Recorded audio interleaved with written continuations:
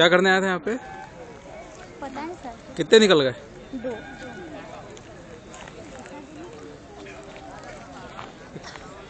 मानव नगर के पास भूरी टेकरी के कमल डैम में तीन बच्चे रविवार शाम को नहाने आए और डूब गए। निकालने का कार्य जारी है।